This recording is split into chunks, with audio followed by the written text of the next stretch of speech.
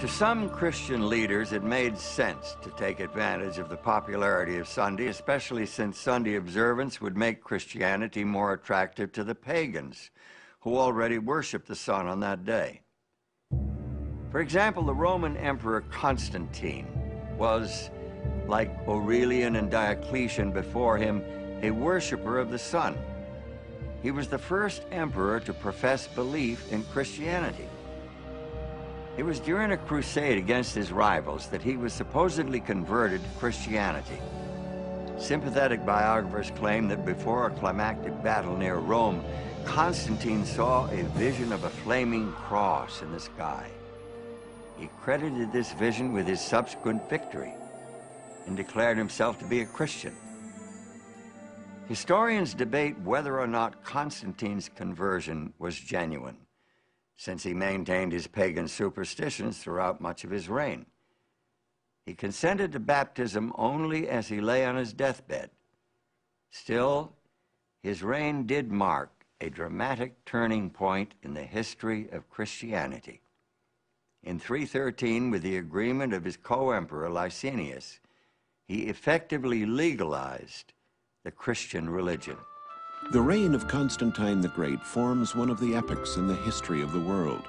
It is the era of the dissolution of the Roman Empire, the commencement, or rather consolidation, of a kind of Eastern despotism with a new capital, a new constitution, and finally, a new religion. Was Constantine converted to Christianity or was it the other way around? Who knows? But what's important to us today is that what emerged was a different kind of church, a different kind of state. In fact, the two were so blended together, it was hard to see where one ended and the other began. It seems that Constantine's personal religion was a mixture of Mithraic sun worship and Christianity. According to his Christian biographer Eusebius, he taught all his armies to zealously honor the Lord's Day, Sunday, referring to it as the day of light and of the sun, distinctly pagan terminology. Take a look at this passage from his famous Sunday Law of AD 321. On the venerable day of the sun, let the magistrates and people residing in cities rest, and let all workshops be closed. In the country, however, persons engaged in agriculture may freely and lawfully continue their pursuits. The first law requiring people to celebrate on Sunday and rest on Sunday was uh, a law promulgated by the Emperor Constantine in the year 321. And he does it without any reference to Christian theology or Christian ideas. He's, he says to abstain from uh, labor on the venerable day of the sun, which is an allusion to the fact that uh, sun was becoming more and more the object of worship.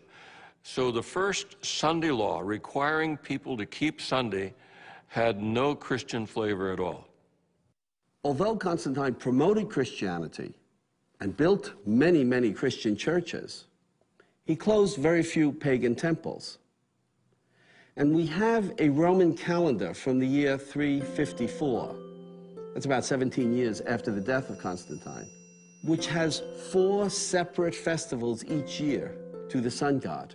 It shows that the sun god survived not only Constantine, but into the reigns of his immediate successors.